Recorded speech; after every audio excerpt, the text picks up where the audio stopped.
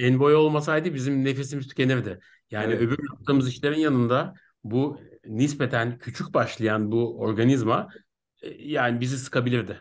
Ama Envoy'un işte o günün sonunda bizim yerimize sürekli bu işi takip eden ve bize raporlama yapan bir organizma var ve çok önemli bir şey. Yani benim bunu kendi şirketimde yapabilmem mümkün mü? Evet mümkün ama kocaman bir insan kaynağından ve kocaman bir tecrübeden bahsediyor olmamız lazım.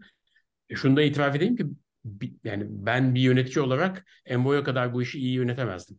Evet. Günün sonunda bir kabinin e, bilgisi işte ne bileyim ihracatı, üretimi, ürün kalitesiyle alakalı olabilir. Ya da vizyonu ne- neye göreyse ona göre olabilir ama özel bir konuda bu kadar bilgili olmak çok zaman isteyen bir şey.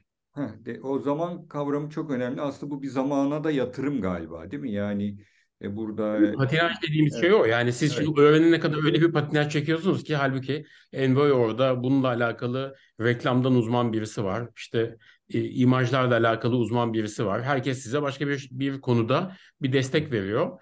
Günün sonunda bizim markamıza da bir katma değer sağlıyorlar aslında. Çektiğimiz fotoğraflardan ürünün nasıl görüneceği ve kaç paraya satılmasıyla alakalı bir sürü stratejiyi birlikte yapıyoruz. Ortak gibiyiz aslında.